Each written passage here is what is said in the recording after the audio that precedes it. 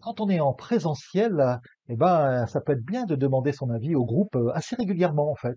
Est-ce que vous comprenez? Est-ce que ça va bien, etc. Mais comment on peut le faire avec une grande salle et surtout comment on peut le faire facilement? Je suis Jean-Michel Cornu, spécialiste de la coopération et de l'intelligence collective. Et aujourd'hui, je reçois Jolan Mérigné, qui est le coordinateur de l'association Infini, qui offre des outils extrêmement intéressants pour les différents groupes, hein, donc des, outils de, mise en ligne, de- de mail ou de plein d'autres choses. Et euh, il va nous parler de comment prendre l'avis de votre, groupe pendant une rencontre. Alors, euh, souvent, on peut avoir une salle, elle peut être petite, elle peut être grande, etc. Alors, Jolan, comment, demander son avis à la salle?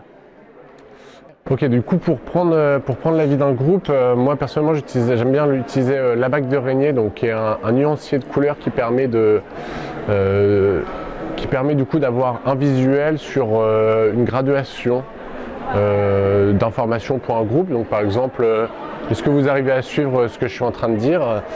Et puis, on va se donner trois couleurs, euh, typiquement rouge, vert euh, et orange, et voilà, au moins j'aurai un avis du groupe, quoi. Euh, ça peut être ça comme ça peut être euh, sur différents sujets. Voilà, sans avoir besoin de, de- de faire déplacer les personnes, parce qu'on pourrait le voir aussi euh, avec euh, une méthodologie type 4 coins et euh, du coup se déplacer géographiquement, mais sur, euh, sur, un amphithéâtre ou sur une salle de cours, euh, c'est pas forcément ce qu'il y a de plus euh, fonctionnel. Très concrètement, comment on peut faire ça? Est-ce qu'il y a des astuces, des moyens pour arriver à faire ça? Comment on fait alors qu'on ne sait pas faire? Euh, Eh bien, euh, je conseille d'utiliser l'application Votard et du coup, notamment, euh, qui renvoie vers sa documentation où il y a tout le document pour imprimer ce qu'il faut. Et l'application Votard, elle, fait, elle permet de prendre euh, l'avis d'un groupe où chaque personne a une feuille euh, A4 euh, avec euh, quatre carrés de couleurs et suivant l'orientation de la feuille, bah, du coup, on va pouvoir donner un avis sur maximum quatre, euh, quatre propositions quatre possibilités. Et du coup, cette application, par le biais de, euh, par le biais de l'appareil photo, bah, du coup, va prendre en photo la salle et va pouvoir dire qu'il y a euh, 33% de personnes qui pensent, qui sont d'accord avec ça, euh, ça, euh, 25% d'indécis, euh, 25% qui se positionnent pas, et du coup, euh, 17% euh, qui sont contre. Voilà, typiquement. Qu'est-ce qu'on peut demander aussi à la salle? Quel genre de choses on peut demander? C'est pas forcément du vote, euh, ça va être quoi euh, comme, euh, comme possibilité?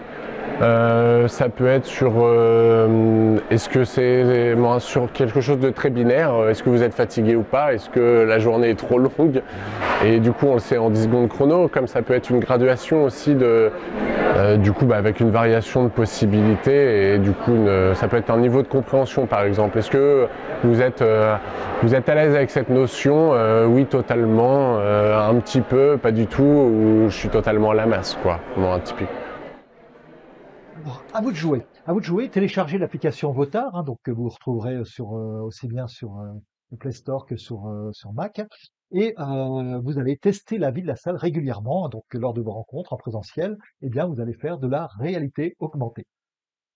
Alors, n'hésitez pas à commenter comment vous allez mettre, ça- mettre ça dans le commentaire de comment vous avez mis ça en place, comment ça a marché, les difficultés que vous avez rencontrées, les réussites que vous avez eues. Et n'hésitez pas aussi, évidemment, à vous abonner hein, avec, la petite cloche pour être prévenu des prochaines vidéos. Et puis, de liker aussi, alors, quel que soit le réseau social sur lequel vous êtes ou mon blog, eh bien, ça aide vraiment ces, euh, ces vidéos à être plus visibles sur Internet.